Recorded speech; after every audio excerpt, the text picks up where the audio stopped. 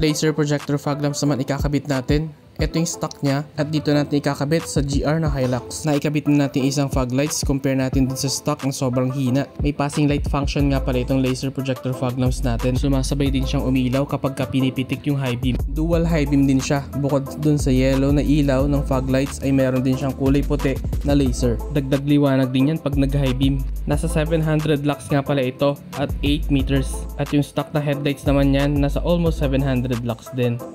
Bale, parang naglagay tayo ng extra na headlight sa baba. Medyo mas malakas pa compare sa stock na headlights. May Hilux Conquest din nga pala tayo dito. Naka ARB bumper siya. Papalitan din natin siya ng by LED projector fog lamps. Bolt-on install sa ganitong bumper pati na rin sa mga Gen 1 na Fortuner. Saka Vigo na Hilux. Instead kasi napalitan lang nila ng bulb. Diretsong palit na ng buong projector. Mas malakas na ilaw. Meron pa siyang high beam function. Kagandahan pa dito na-adjust yung taas baba ng tutok ng ilaw. At LED projector, low consumption pero high brightness. Parehas dapat sila ng fog lamps ng GR na Hilux natin pero biglaan siya nagpalit ng bumper kaya ito yung nilagay natin. Umabot naman ng almost 800 lux ang reading natin sa fog lamps tapos sa headlights naman ay nasa 600 lux. Yung high beam naman natin combined umabot ng 1000 lux. Magkasama dyan yung fog lamps natin saka yung high beam ng headlights. At ito pa isang Hilux na kakapitan din natin. Same lang din sa isa. Facelifted lang kasi to. Dating H4 pero pinalitan ng headlight assembly. Tapos yung fog lamps niya stock na ARB din. Palitan din natin to ng LED projector fog lamps with high beam function. Yung dimension nga pa rin to kaparehas sa stock na fog lamps ng Gen 1 na Fortuner. At dito sa ARB bumper.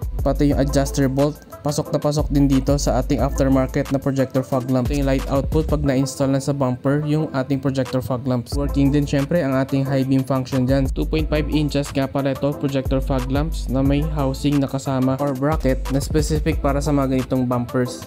Pwede gumamit ng 3 inches na projector fog lamps pero magpa-fabricate pa tayo ng housing saka mas matagal gawin. Last but not the least, Hilux J na 4x4 naman lalagyan natin ng Q8 by LED projector fog lamp. Wala siyang stock na fog lights. Naglagay lang tayo ng wiring kit at bolt-on naman itong Q8 by LED projector fog lamps with Toyota brackets. 45 watts with napaka-sharp na cut-off line. With high beam function din nga pala ito, syempre. Also 3000 Kelvin din yung pinakabit ng client natin kasi all weather, go anywhere sila umabot ng 1,200 lux at 8.5 meters. Gumawa din nga pala tayo ng high beam splitter at ganito nga pala itsura ng switch ng harness natin. Universal type lang kasi ito. At ito lang meron tayo sa ngayon. Ibay kasi yung relay na kasama dito saka yung wires nito ay matataba. Lux test natin yung headlights. Umabot lang yung low beam niya ng 400 lux.